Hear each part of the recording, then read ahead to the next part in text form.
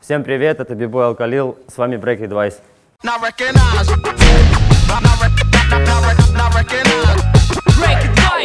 Сегодня расскажу вам о прыжке на 180 во фриз.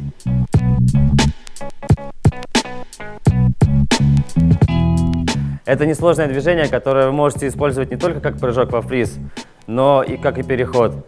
Для подготовки вам нужно уметь несколько простых вещей. Первое – это фриз на руке. Вторая вещь – это либо вытяжка, либо фляг.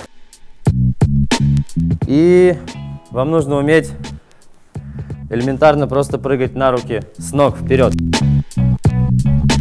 Для начала мы вы- выпрыгиваем с корточек в две руки. Неплохо было бы уметь свайпс.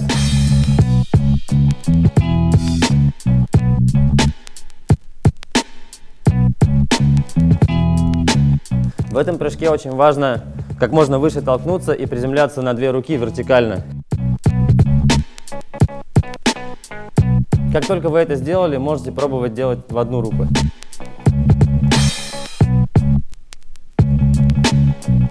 А, У этого элемента очень большое количество вариаций, где вы можете его применить. Не только как фриз в музыку, можно сделать его как переход, можно сделать свою вариацию с продолжением в другой фриз. Там вариаций миллиард.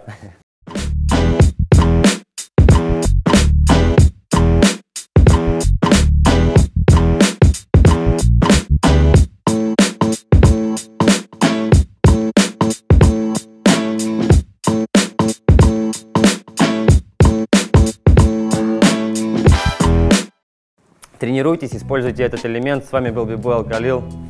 Браг Advice. Not recognize.